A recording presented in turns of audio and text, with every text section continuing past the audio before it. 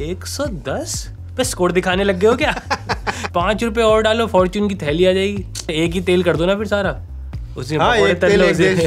ये एक भी आज एक। हाँ दोस्तों ये भी अपील करना चाहेंगे कि वन नेशन वन ऑयल हमारे चैनल को सब्सक्राइब करें और बेल आइकन को प्रेस करें ताकि आप कोई भी फनी कंटेंट मिस ना कर पाए। जय दोस्तों मेरा नाम है राजेश। और दोस्तों मैं हूँ शुभम और हमारी इस खुशी का राज है कि कल हम वर्ल्ड चैंपियन बन गए। हाँ कल हमारे ऑस्ट- ऑस्ट्रेलिया वाले अस्ट्रेलिया ऑस्ट्रेलिया वाले दोस्तों ने हमारा बदला ले लिया। पता नहीं है क्या तुझे थ्योरी पता मुझे पता तुमको अगर नहीं पता है तो महाभारत काल में जो हमारे अस्त्र रखे जाते थे वो एक टापू देश में रखे जाते थे जिसका नाम था अस्ट्राल अब वो खराब होते होते अभी ऑस्ट्रेलिया बन गया अंग्रेज़ आ गए तो उन्होंने थोड़ा सा उसको बोल नहीं पाए ढंग से बोल नहीं पाए। तो वो यो ऑस्ट्रेलिया से अस्ट्रालिया से होते होते ऑस्ट्रेलिया हो गया। लेकिन देखो अखंड भारत का हिस्सा है। दिल अभी भी उनका इधर ही है भाई वही तो मैथ्यू वेट तू देख रहा है। हाँ पूरा राउडी राठौर बन के जो आया कल उसने ओह महात्मा वेट को मेरा नमन हाँ। जो उन्होंने प्रदर्शन किया है। सही में भाई। ये दो शेट्टी ने बात कर लिया अगली पिक्चर में। अच्छा। आप पुलिस बनो अच्छा क्रिकेट खेलते हो। पुलिस बनोगे? पर सच में दो लोगों के जो रातों रात फैंस बढ़े हैं ना कल हसन अली मैथ्यू इनको पता नहीं कि 130 करोड़ हिंदुस्तानी इनसे कितना प्यार करते हैं। यमुना में देखा तूने इस बार बादल ही आ गए ज़मीन पे। एक तो केजरीवाल साहब इसका पोस्टर का है? बधाई दिल्ली। हाँ आपको ऐसे हम्म, मनाली की बर्फबारी सब यमुना में देने के लिए। केजरीवाल इसका भी लगा दे बधाई दिल्ली। दुनिया का आठवां अजूबा अब आप आईटीओ के पुल से देख सकते हैं। और कल कल ऐसा भी नहीं कि लड़के हारे कल प्रॉपर ऐसा है कि जीता जीता है मैच हारे। हाँ कल पाकिस्तान पाकिस्तान की तरह खेली है। हाँ सबने वही दो टप्पे में बॉले फेंकी है तो- कैचे छोड़ी है वाह। अभी हम इस टीम को जानते हैं। और इसकी बड़ी खुशी है कि अब जो नई टीम अनाउंस हुई है दोस्तों न्यूजीलैंड के साथ जो मेन ट्रॉफी जिसके लिए हम खेलते हैं साल हाँ, साल बाद पेटीएम ट्रॉफी। जिनकी भाई हमने रह के भर रखी है अपने बीसीसीआई के दफ्तर में अभी दो नई अलमारी ऑर्डर की पेटीएम ट्रांजेक्शन नहीं होती भाई इतनी। जितनी हैं सत्रह अठारह अठारह। सही में भाई। क्या है वर्ल्ड कप दो साल में एक बार चार भाई पेटीएम ट्रॉफी में लड़ाना है तो बताओ। जो बात हुई रही है की आज़ादी अभी 2014 में हाँ, अभी कंगना ने कोई कह रहा था पट्टे पे है। निन्यानवे साल के बाद। वापस सब ब्रिटिशर्स हो जाएँगे दोस्तों। ये। वो कितना सही हो जाएगा ना कि वो जीते वर्ल्ड कप तो अपना हम जीते तो पीकी ब्लाइंडर्स दोस्त हमारे बदमाश हाँ। क्या है वो अपना पी की वाटी तो है भाई? उसका क्या ही चल रहा है। हाँ, रहे हैं ही। हाँ। तो ये सब होता दिख रहा है क्योंकि कंगना ने कहा है कि देश जो आज़ाद हुआ है वो 2014 में ही हुआ है। उससे पहले तो हम गुलाम ही थे। अगर हमारे माँ बाप को ये पता चल जाए तो ये और जोड़ देंगे वो तो स्ट्रगल में जब ताने देते ही हैं। हाँ। तुझे पता है कि दो 2013 तक जब तू स्कूल जा रहा था पढ़ने तो पापा एक अंग्रेज़ की धोके आते थे सुबह सुबह जाके। गुलामी करते थे गुलामी कर- भाई फिर तो ये ये सही नहीं है कन्हैया वन तो अभी तक आज़ादी मांग रहे थे? हाँ। तो ये तो सही लोग हो गए फिर? नहीं वो दो साल तो लेट चल रहे थे ना पंद्रह सोलह में आज़ादी मांगी उन्होंने। तो चौदह में तो हो गए थे। जेएनयू पढ़ते हैं वहाँ कौन सा पढ़ाई होती है? लेट पता लगा होगा? हाँ ये हो सकता है कि उन तक पहुँचते पहुँचते टाइम हाँ, लग गया। इसको तो अगर कंगना कोई भी नशे करते हुए हमारा वीडियो देख रही है तो प्लीज़ इसका तो आंसर हमें दे। हाँ उनको भी बता दें कि भाई तो चौदह में मिल गई है। मिल गई है, मिल गई है यार। और और सबसे फनी यही है कि उनके जो मतलब फेवरेट है अपने बड़ा बमो वो हर जगह बता रहे हैं कि पिछहत्तर साल हो रहे हैं आज़ादी के। अमृत महोत्सव मन रहा है हर किसी वेबसाइट पे कहीं चले जाओ तुम अपना ये अप्लाई करने वो लेने ऊपर लिखाएगा की बधाई हो पिछहत्तर साल हो गए आपको आज़ाद हुए। मतलब अब तो हम भी अपने बच्चों को बोल पाएँगे। स्वतंत्रता सेनानी है भाई तू यार आप तो सोच अब बस में कौन सी सीट पे बैठना स्वतंत्र सेनानी वाली पे ऐसे ही नहीं पता वो मिला है उन्हें पता। ऐसे भाई फॉरेज वो दिया। बट कुछ लोग हाँ डिमांड कर रहे हैं कि कंगना से ज़्यादा डिजर्विंग मैथ्यू वेड और ये हैं हसन अली। कुछ लोग कह रहे हैं कि अदनान सामी की चीन कैसा अपनी नोटबंदी की जयंती हुई है। नोटबंदी की जयंती भी हुई है फिफ्थ बर्थडे है भाई वो। पूरा पूरा बर्थडे बिल्कुल बिल्कुल पांचवा बर्थडे और सबने उस ऐतिहासिक मीम को याद किया। मुझे लगता नहीं कि उससे ज़्यादा इंडिया का कुछ किसी ने वो किया है। और वो बहुत ही एक सच्ची मीम है। सच्ची मीम है अच्छी मीम है और वो आज से पचास साल बाद भी दिखा सकते हो तुम। और तब भी रेलिवेंट तब होगी। भी रेलिवेंट होगी तब भी लोग बोलेंगे हाँ हाँ तो कमेंटों में तुम्हारी बमबारी चालू हो गई थी कि भाई जय भीम रिव्यू जय भीम रिव्यू वैन तो भाई हफ़्ते के दो तीन निकालते देख ली थी हमने रिव्यू इसका हम अब कर रहे हैं ठीक है? First word you have to say what the film is that सब मस्ट वॉच फ़िल्म भाई यही है। फ़िल्म की कास्ट की बात करते हैं लीड रोल में है वैसे लीड नहीं कहेंगे क्योंकि बहुत सारे कैरेक्टर हैं और सबका बढ़िया रोल है और ऐसा नहीं है और कि जो फ़िल्म बनी जस्टिस पे उसमें तो भेदभाव ही हाँ, नहीं और करता ऐसे कि नहीं ये लीड में ये सपोर्ट हाँ और ये भी नहीं कि सूर्या इतना है दोस्तों सूर्या जो चंद्रू बने एडवोकेट कि सूर्या इतने बड़े सुपरस्टार है और फ़िल्म में मेरे को सिर्फ़ ऐसा पचास साठ परसेंट का रोल मिला ऐसा कुछ नहीं है। हाँ। सबका बढ़िया काम है। वो ये सब नहीं कि पैसे कमाने के लिए काम करे सिर्फ़ इंसाफ दिलाने के लिए वो काम ह्यूमन राइट्स के लिए काम करते हैं और जो ह्यूमन राइट्स के केस लड़ते हैं उस पर कोई फ़ीस नहीं लेते। कोई फ़ीस नहीं लेते तो आई थिंक फ़ीस कमाने के लिए दूसरे केस लड़ते होंगे वो। लड़ते होंगे। हाँ। हम जैसे पहुँच जाते होंगे कि सर वो चलाने टकरा एक दो हज़ार का निकल जाए जा। सस्ते में करा सस्ते में सस्ता क्या होता है? पंद्रह सौ वो लेता है जो पाँच सौ की छूट मिलती है बस वही है कि वो देश के खाते में ना जाके वहाँ लगता है। और पेट्रोल में लग रहा है इन्हीं वजह से महँगा है। ये दो हज़ार के चालान हम सीधे मोदी जी की जेब में डालने लग जाए। हाँ भाई तुरंत पेट्रोल पंप को देंगे वो देख। उनको देख जैसे ही पता चला कि मेरा देश में पेट्रोल महँगा बिक रहा है। कैसा देश का माहौल कैसा है? कैसे खुश है ना लोग इस बार? हाँ। सर पटाखे वटाखे तो बैन हो गए और थोड़ा पेट्रोल महँगा। पेट्रोल महँगा? है मैं मुझे मेरे देश में पेट्रोल महँगा? है मुझे किसी ने बताया पाँच रुपए सस्ता करो अभी के अभी। और डीजल दस रुपए सस्ता करो। वो तो एक दिन भाई उनकी नज़र पड़ी आगे वाली सीट पे बैठे हुए थे लाइट सेट कर रहे थे अपनी जो लगा के रखते हैं वो। ने कहा ना एक सौ दस? पे स्कोर दिखाने लग गए हो क्या? कि नहीं नहीं सर ये तो रेट ही है। पाँच रुपए और डालो फॉर्च्यून की थैली आ जाएगी। वो वो बात है, एक ही तेल कर दो ना फिर सारा। उसमें हाँ, एक तल एक।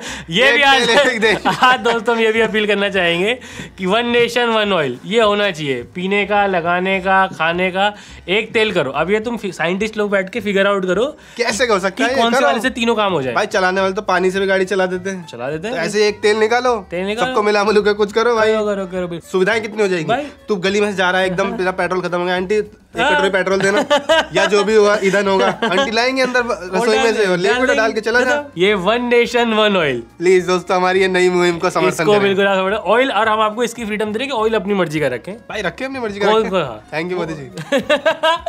Thank you Modi ji हमारे दिमाग में ये आइडिया डालने के लिए।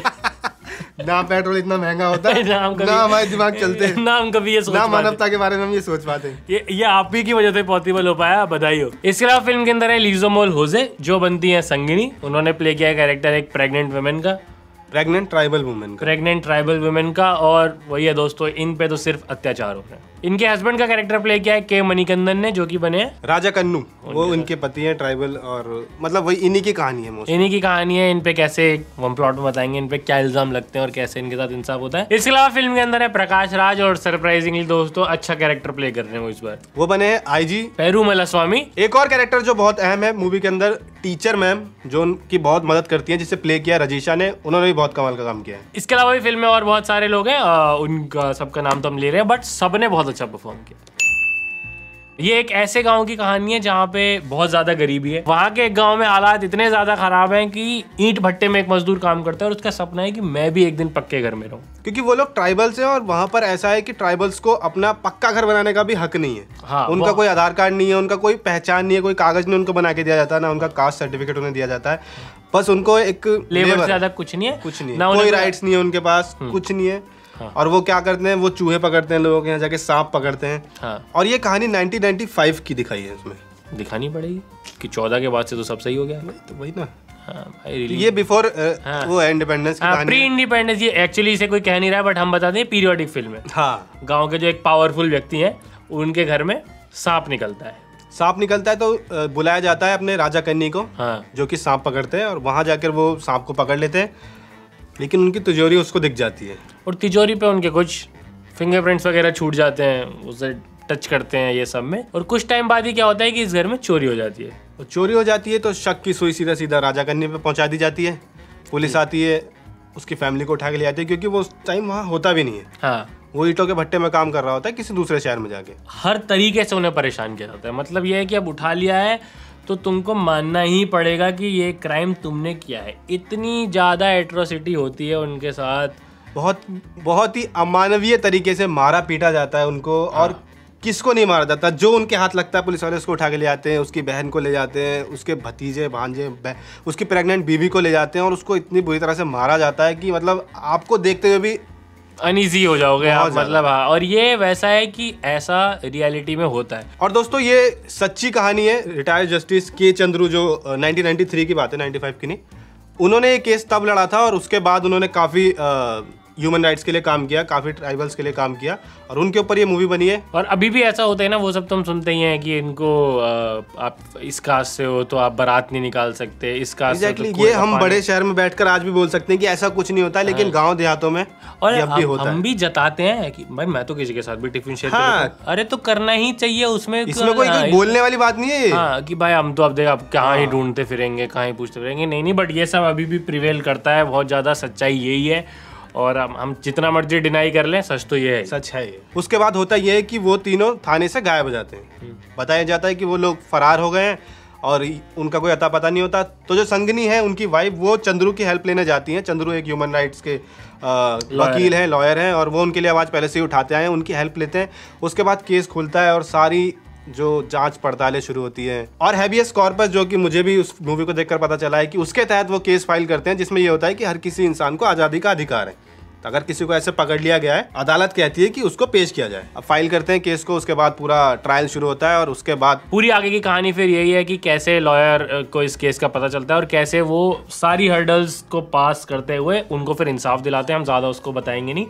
बहुत ही सच्चाई दिखाई गई है और बहुत ही ऐसे शॉर्ट्स के थ्रू दिखाया गया है कि जो आपको अनईजी करेंगे और और बहुत ही रियल चीज़ों को दिखाया गया है। अब जैसे कुछ शोज़ वो पुलिस वालों को दिखा देते हैं कि जो भाई फैमिली को टाइम नहीं दे पाते यानी पुलिस वालों की प्रॉब्लम दिखा दी। वो भी सही है। वो भी सही है। कुछ फ़िल्में वो दिखा देती हैं कि कैसे वो आउट ऑफ़ द वे जाके बहादुरी से हमारे लिए काम कर रहे हैं बिल्कुल सही है। लेकिन एक तबका कहीं ना कहीं पुलिस का ऐसा भी है जो मार्जिनलाइज कम्युनिटीज के साथ इस तरीके का ब्रूटल व्यवहार करता है और बहुत रेगुलरली करता है।